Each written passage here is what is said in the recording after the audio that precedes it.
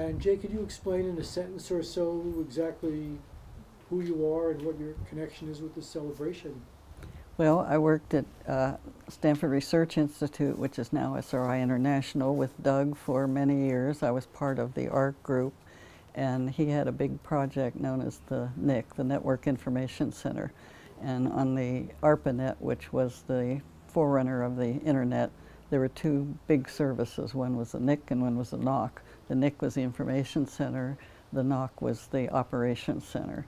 So we ran the NIC, we distributed documents, we ran the naming service, we uh, had a 800 hotline, the sort of things that Information Center did.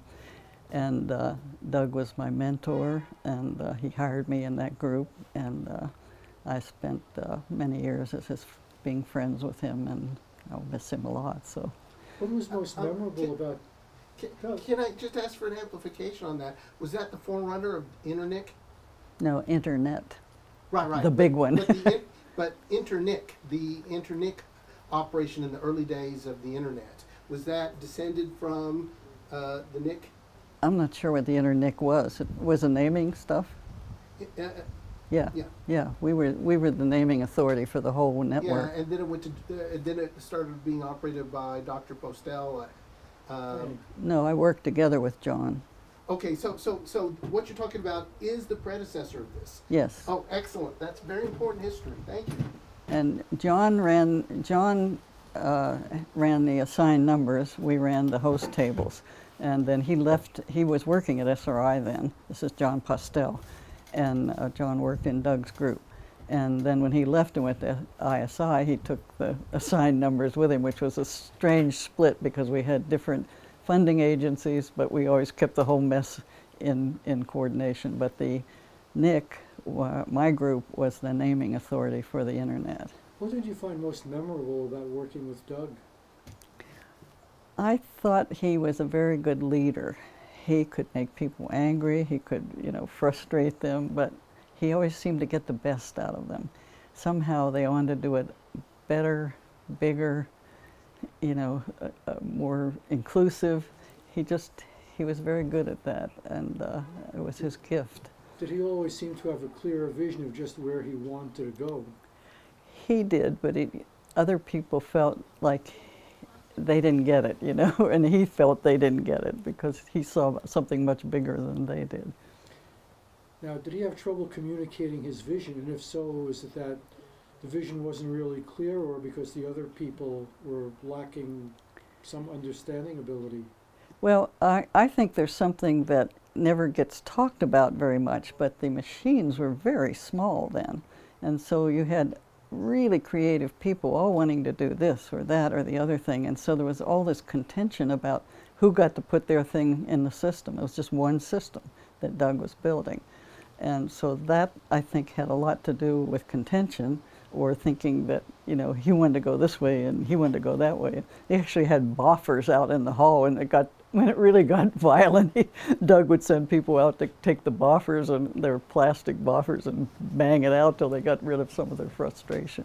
So there was a lot of problems because the, the hardware never caught up in, in those days with the software, in my opinion.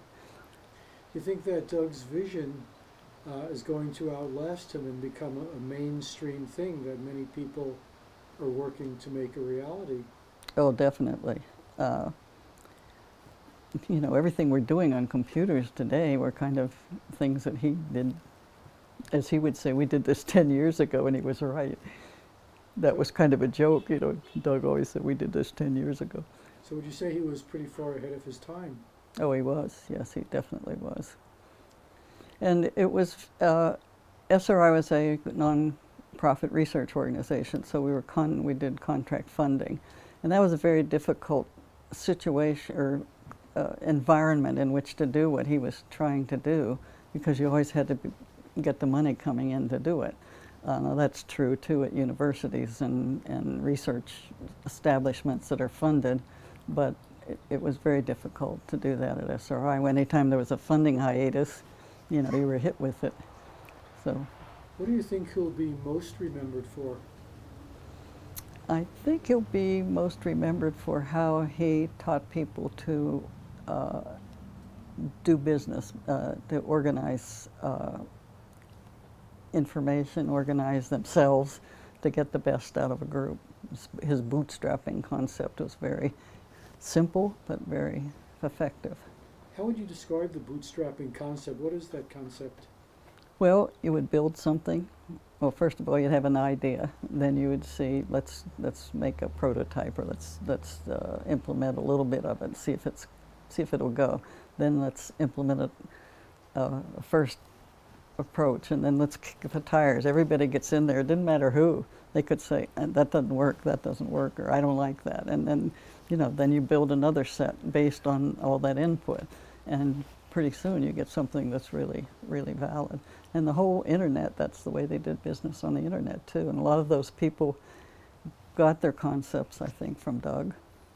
Was he a good teacher? Could he explain things so people could easily follow? Some people, he was really good doing that, and other people, he never got to them and they would be angry about it, but then they'd try to do something better just to show him, you know. And so he somehow got people to do the best they could do, whether it was a negative approach or a positive approach. And it was a gift he had.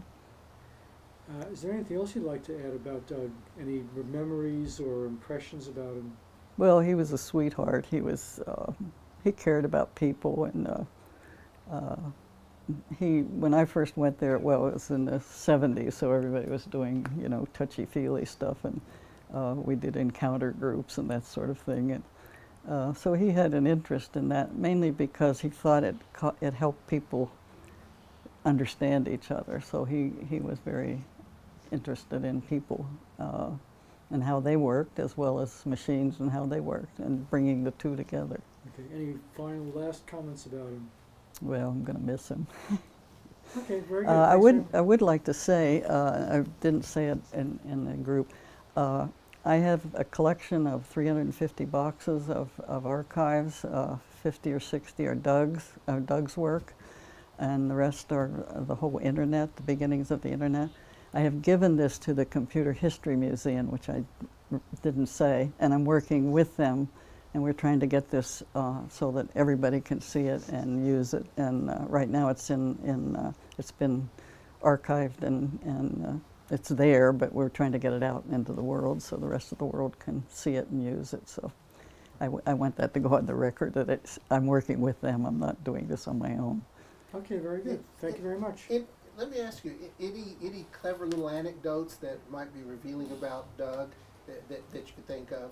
Well, I remember one time we had a picnic, and everybody was taking pictures at the picnic. And there was a lot of sun, so Doug was eating a sandwich, but the sun was in his eyes, so he was making this big grimace, you know, taking a bite out of the sandwich. And somebody put the pictures on the wall, and somebody came along and said, "I ate the sandwich ten years ago." so that was Doug was always saying, "We did this ten years ago."